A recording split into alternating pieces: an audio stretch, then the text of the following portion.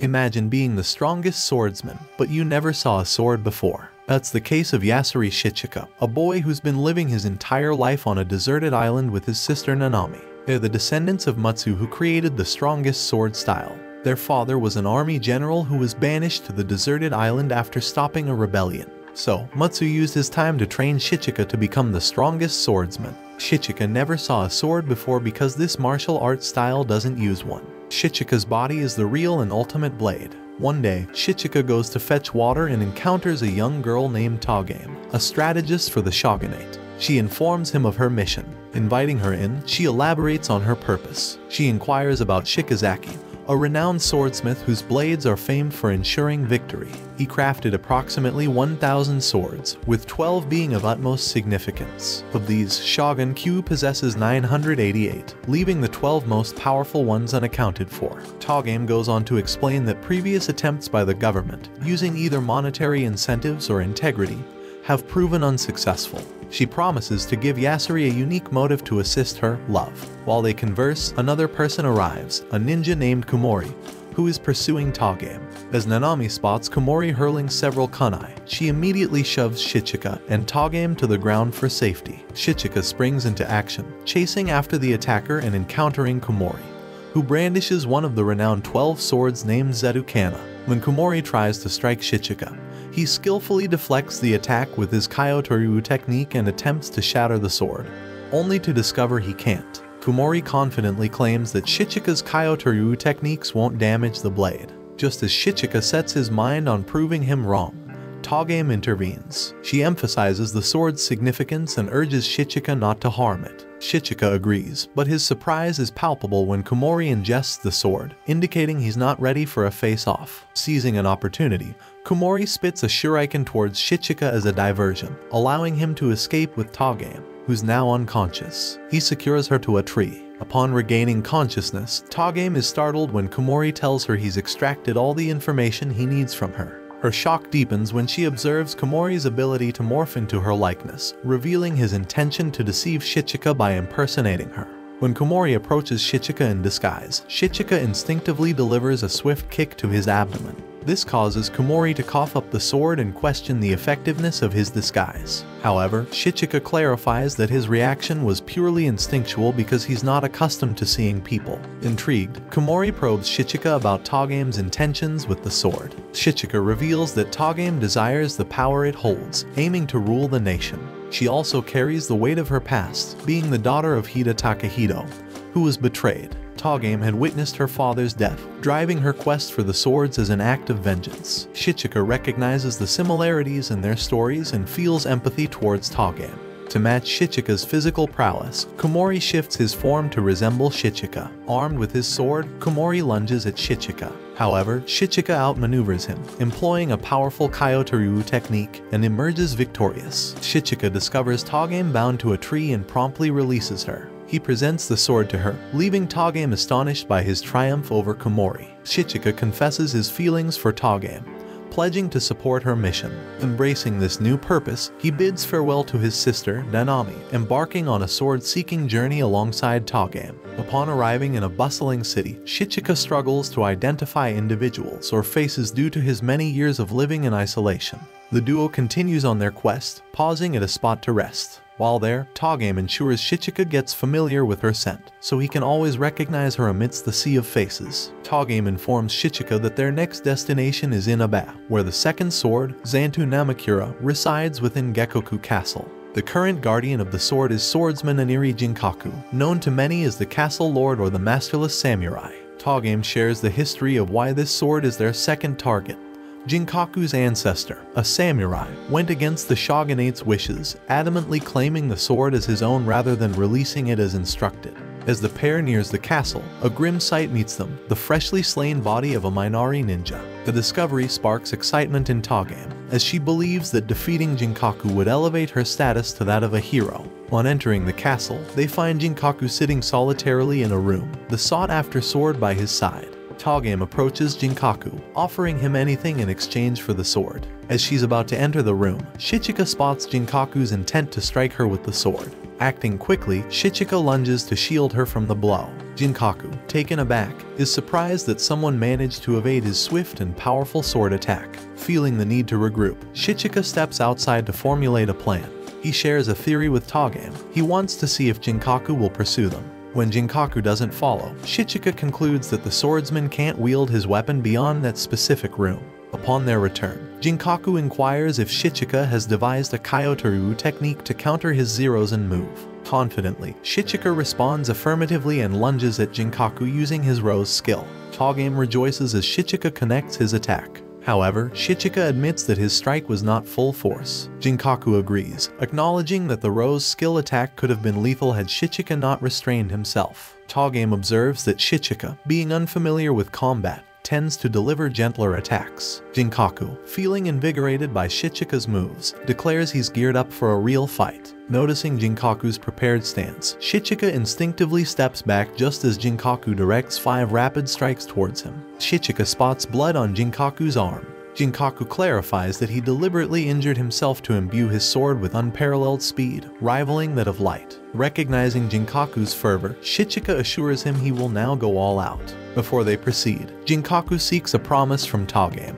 which she restore Inaba to its past magnificence if he willingly hands over Xantu. Togame admits she can't make such a commitment. Curious, Shichika questions Jinkaku's motive behind his combativeness. Jinkaku, somewhat uncertain, responds that his primary goal is safeguarding the thing dearest to him, the Xantu sword. Acknowledging Jinkaku's sentiment, Shichika makes his move. In response, Jinkaku launches 10 swift blade slashes. Shichika, however, deftly evades them and soars upwards. Reminding Jinkaku of his inability to strike an airborne target, Shichika employs his Shattered Blossom technique, delivering a powerful kick from above and subsequently seizing the sword. Shichika and Togame's next destination is Izumo to meet Tsuruga Meisai, the leader of Sanzu Shrine and the keeper of the third sword, Sentu Tsurugi. The shrine serves as a haven for women who have faced abuse. As they are discussing near the shrine's wall, Meisai suddenly approaches them. Upon asking her identity, she introduces herself. Both Shichika and Togame are taken aback by her youthful appearance. Togame decides to converse with Meisai while Shichika explores the surroundings. Togame expresses her desire to acquire the sword in Meisai's possession. This isn't an ordinary sword. It has around 1,000 identical counterparts, which Meisai has distributed among her followers. Togame shares that they have already secured the first two swords, and in both instances, they had to defeat the sword owners. Meisai offers the sword but under certain conditions. Togame then updates Shichika about their conversation.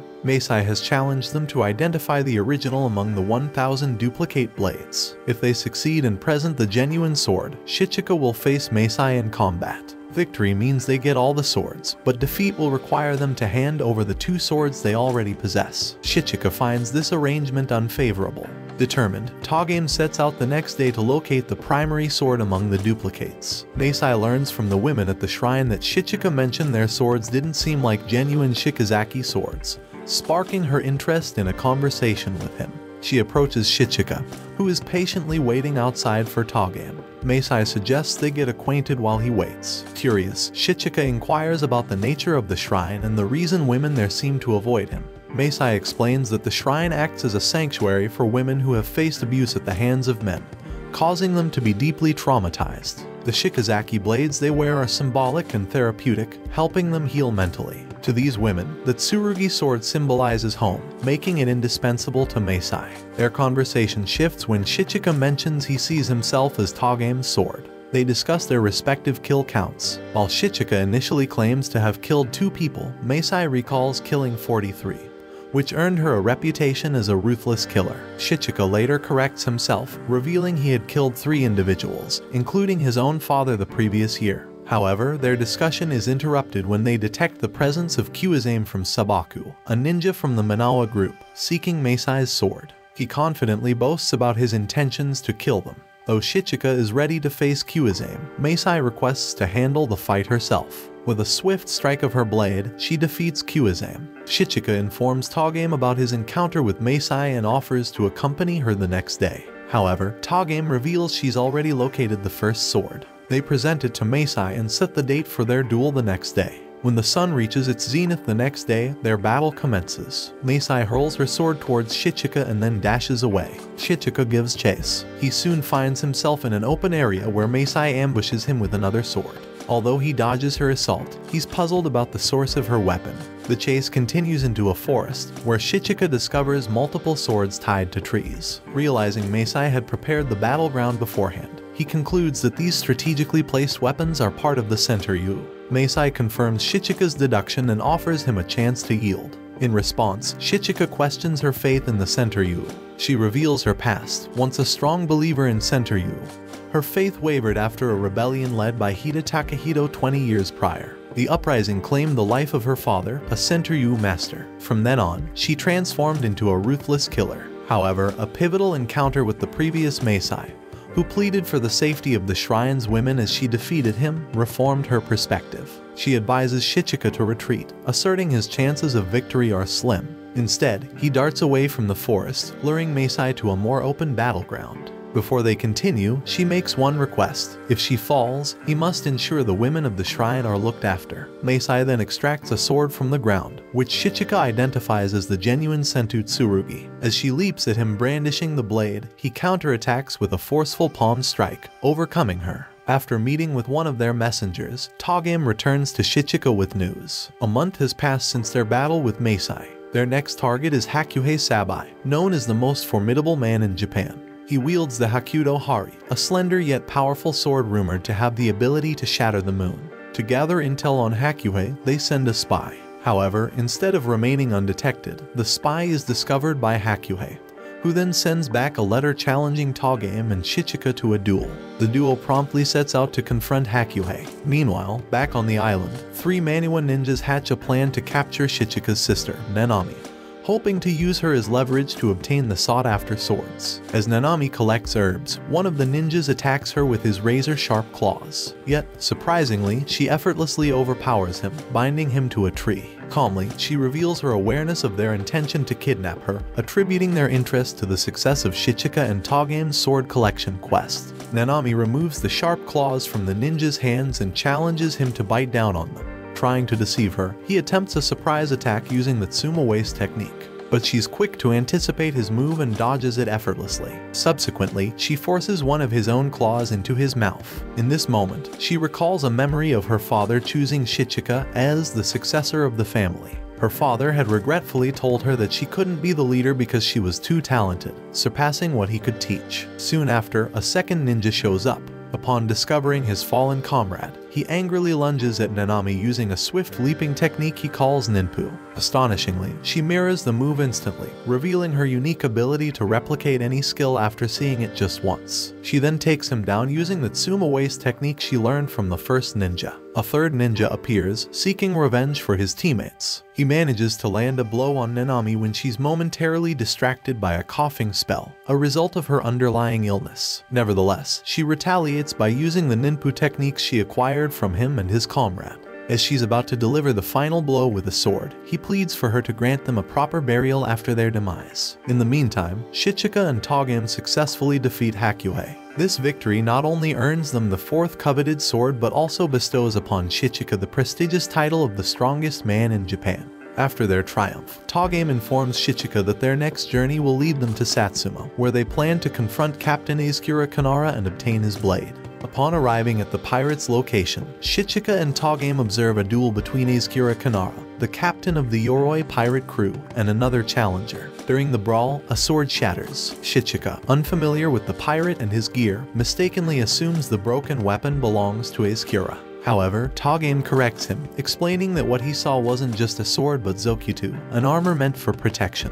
Retreating to their accommodation to plan their next move, Togame points out that penetrating the armor will be challenging. She suggests their best options would be to either submerge Aizukura in water, rendering the armor ineffective, or knock him into the air. Their strategizing session is interrupted when Aizukura himself pays them a visit. Togame attempts to play off their intentions by acting like a casual traveler, but Aizukura sees through her ruse, revealing he's aware of their identities and mission. Aizukura proposes a deal. If they duel him and win, not only will he hand over the Zokutu, but he will also offer them passage on a ship to Oeri. But there's a catch. If they lose, Izkira claims Togame as his prize. Once he departs, the duo resumes their planning. Their attention is diverted once more when they receive a letter from Maniwa Hau, a leader of the Maniwa group. Deciding to pursue this new lead, they set out to meet him. Maniwa Hau approaches Shichika and Togame, expressing his frustration over the deaths of six members from his group. Hoping to prevent more conflict, he proposes a truce. He wants two of the 12 swords, and in return, Togame should allow the Maniwa group to keep them. Agreeing to the ceasefire, Togame is offered valuable information by Maniwa. He provides locations of some sought-after swords and tips her off about Princess Haidai of Ori, who appears to be making strategic moves of her own.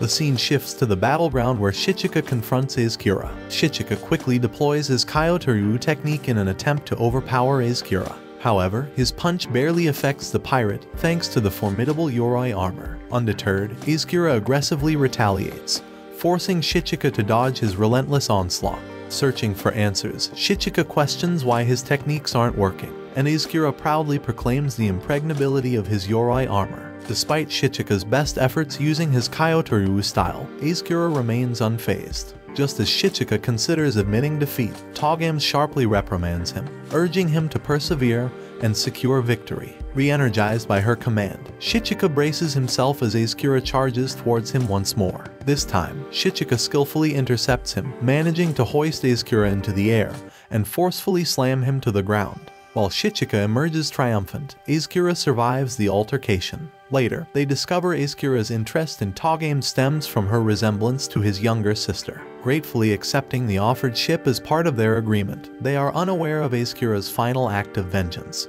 He has secretly ordered the ship's crew to steer them toward the frigid northern region of Izo. Shichika and Togame unexpectedly end up in the icy terrains near Mount Odori in the Izo region. Concurrently, Kaioyukin, a leader of the Maniwa group and furious over the deaths of her members, learns that the duo is heading to Mount Odori in search of the Sauru Kanazuchi sword, guarded by the Aitsura clan. While trekking, Shichika faints due to the extreme cold. Out of nowhere, a cheerful young girl named Kaneyuki Aitsura appears and, showcasing her immense strength, drags both of them to her residence for shelter. Elsewhere, the Maniwa group's head is set on acquiring some swords before Togame can get to them. Inside the house, Kaneyuki introduces herself. When Shichika and Togame express their intent to meet the Aitsura clan to inquire about the sword, she solemnly reveals that her entire clan is deceased, leaving her as the sole survivor at just 11 years old. Upon hearing about the Sauru Kanazuchi, Kaneyuki recalls mentions of such a sword and offers to retrieve it for them. As she departs, Shichika confides in Togame,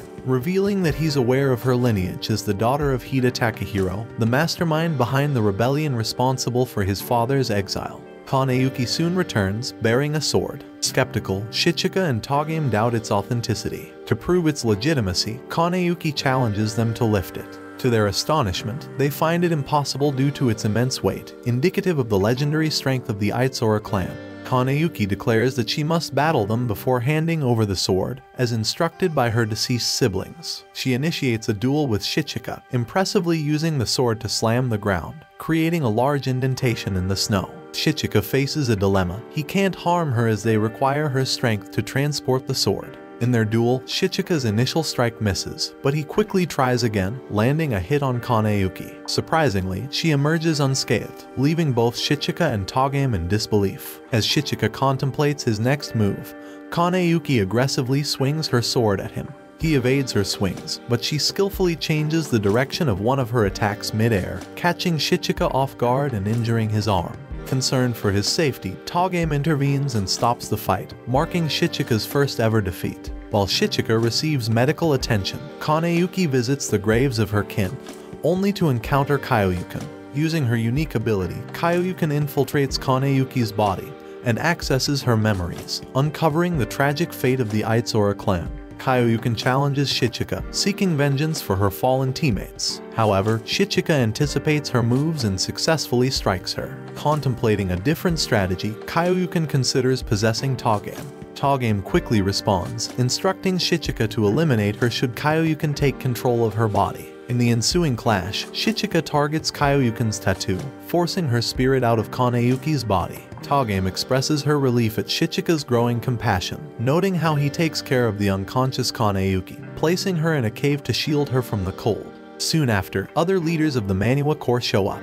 They express regret over Kaioyukin's actions. In a gesture of goodwill, Hao kills Kawasuo, as he possesses a unique skill that could unfairly benefit the Maniwa Corps in their quest for the swords. Wishing to avoid further conflict, Togame accepts their apology. Before departing, Hao shares concerning news with Togame, the ownership of the Shiraizen's sword has transferred, and the new owner has already caused significant bloodshed since obtaining it. In gratitude for their understanding, Kaneyuki agrees to transport the heavy sword to Ori on their behalf, and then plans to head to Sanzu Shrine. Shichika and Togame arrive at the Mount Sayabashiri Tosa Temple, seeking the Akutubita sword known for its healing properties. When they meet Nanami, she reveals that she obtained the sword specifically to see Shichika, and won't easily hand it over. She challenges Shichika to a duel for the sword. Ready to fight, Shichika waits for Togame's signal to start, However, as soon as he lunges at Nanami, she swiftly avoids his strike and leaps into the air. Shichika chases her, but she consistently evades him.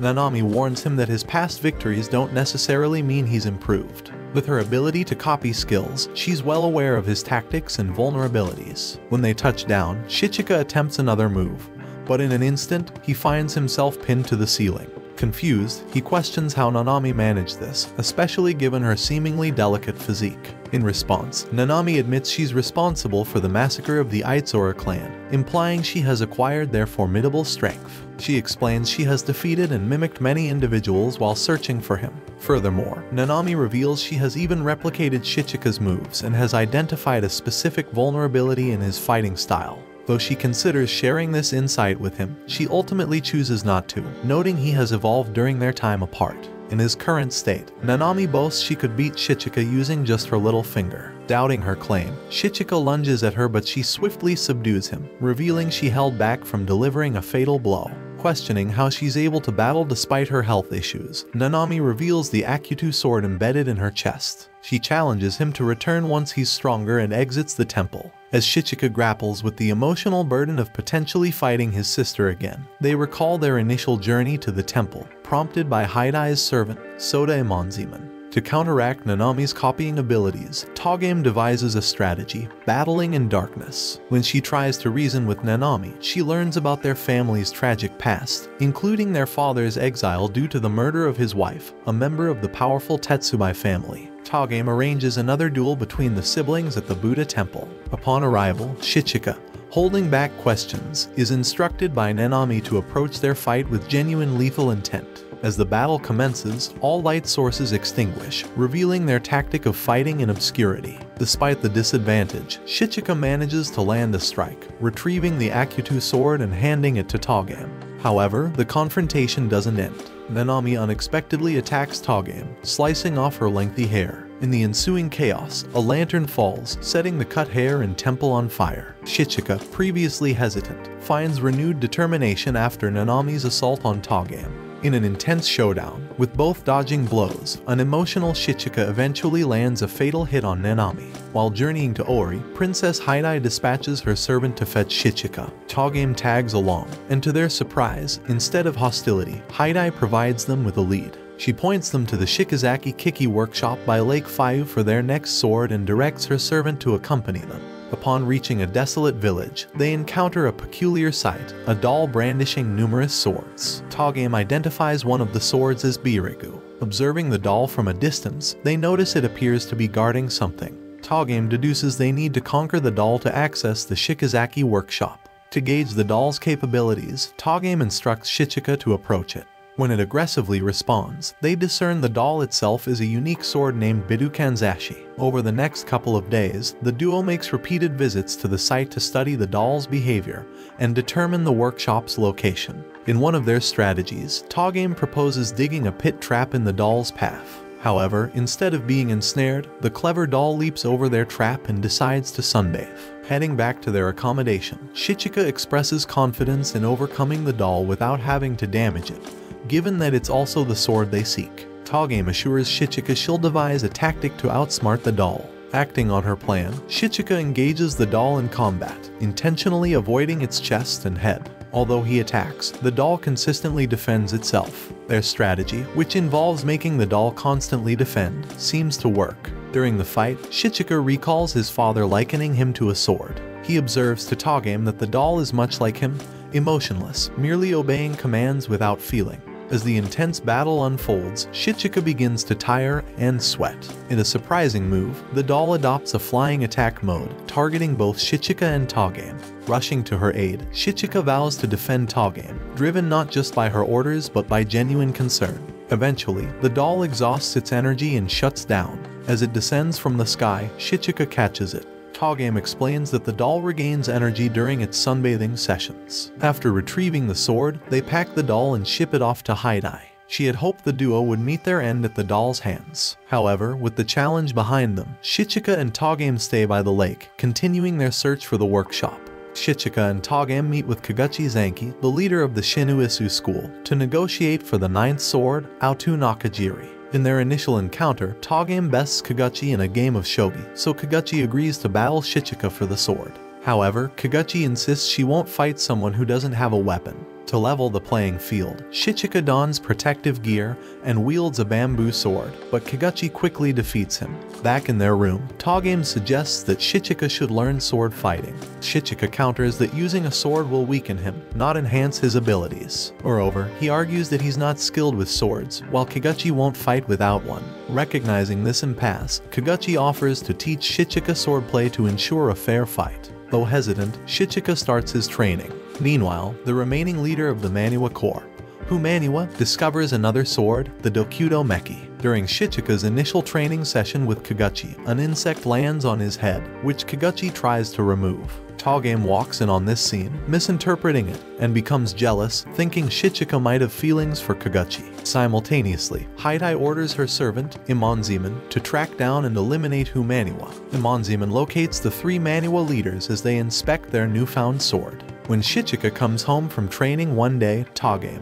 feeling jealous, orders him to halt his lessons with Kagachi. She proposes they use an unexpected tactic to win their upcoming duel. To make him forget about his training, she kisses him. On the day of the duel, Togame faces Kagachi in a game of shogi before Shichika's match. As the bamboo stick fight is about to begin, Togame points out a mistake in Shichika's grip. However, as the fight starts, Togame begins recounting all the moves Kagachi used in their shogi game. Kagachi becomes mentally distracted by Togame's comments, her concentration broken. As she struggles to focus on the duel and shake off Togame's words, Shichika seizes the moment to strike her on the head. Having won the duel, Kagachi hands over the sword to them. Shichika and Togame journey to a mountain, a place imbued with personal memories for both of them. Their goal is to find Higaki Rince, a holy man who possesses the sword Seidu Hakari. When they encounter Higaki, he appears to Shichika as a young girl, while Togame sees him as her father. This vision of her father unsettles Togame. Higaki informs them that the sword they seek is buried beneath the ground. Meanwhile, the remaining two members of Maniwa press on with their quest. As Togame begins to dig for the sword, Shichika engages in conversation with Higaki. During their talk, Higaki's appearance shifts, taking on the visages of various adversaries Shichika has faced before. Elsewhere, Haidai instructs her servant to gather information about Togame. Higaki then leads Shichika to a battle location. As Shichika duels with Higaki, he notices that Higaki is merely evading his moves rather than actively fighting back, seemingly analyzing Shichika's combat style. Realizing this, Shichika decides he won't continue playing into Higaki's hands. Higaki challenges Shichika, telling him that he should have gleaned some lessons from their duel. If he hasn't, Higaki won't offer any further guidance. Higaki probes Shichika about Togame's true intentions and questions his motivations for fighting. Higaki points out that their determination doesn't justify the number of lives they've taken. Rushing back to Togame, memories of their shared journey flood Shichika's mind. He realizes that he battles for Togame's sake. Reuniting with her, he shares this revelation. Together, they unearth the Seidu Hakari, a sword designed to harm its wielder rather than opponents. It serves as a tool for self-reflection. Returning to Higaki, they present the bladeless sword, emphasizing its non-lethal design. Higaki then reveals a secret. After the creation of the 12 swords, a master weapon emerged, the Kyoto Yasuri Kyotoryu. This sword represents Shichika's own family lineage. As they set off in search of the next sword, they encounter an injured penguin, one of the Maniwa leaders. Desperately, she pleads with them to assist Hao. A tale from long ago is recounted. It appears that Shikazaki once encountered Yasuri Kazun during a training session and proposed to assist him in becoming unparalleled.